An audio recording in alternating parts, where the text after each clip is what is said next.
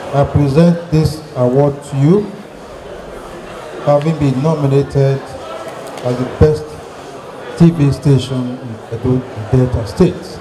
Congratulations.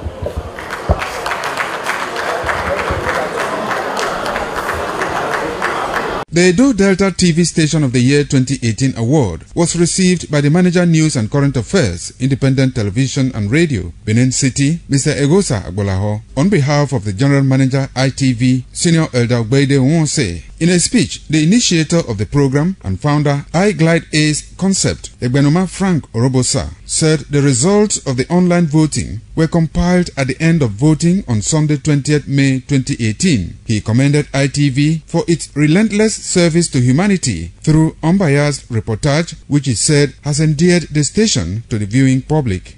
We've had two other editions.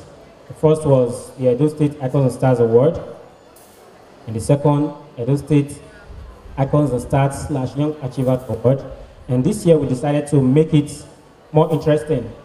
We're going far, and now we're having Edo Delta Icons and Stars Award. Some personalities also presented with award for their contributions to the development of society were the Vice Chancellor, University of Benin, Professor Faraday Orumwense, Professor Samuel Abueku, President of Benson Idahosa University, Bishop Feb Idahosa, a renowned Nollywood film maker, Lancelot Oduwa Imasuen, and Professor Christiana Nkechi Omoifo, amongst others. In an interview, Manager News and Current Affairs ITV, Mr. Egosa Bolaho, and awardee Professor Christiana Omoifo, and some guests who include Board Chairman ITV and Radio, Lady Selerina Ojomo, commended the organizers for the initiative. ITV is a brand that is loved by all, and this will only stay and spur the management of ITV to continue to um, entertain ensure unbiased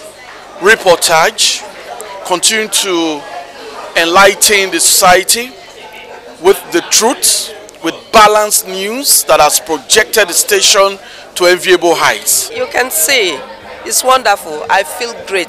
I feel elevated. My friend is a professor of Science, science education in the University of Benin, and she is a founding member of this uh, lovely sisters club. We are daughters of glory. As you can see, we are beautiful sisters. The third Edo Delta Icons and Stars Award 2018 featured entertaining performance by talented youths and artists who include Maria Performing Arts Academy kids, comedians, and professional dancers. Pius Nsoko reporting.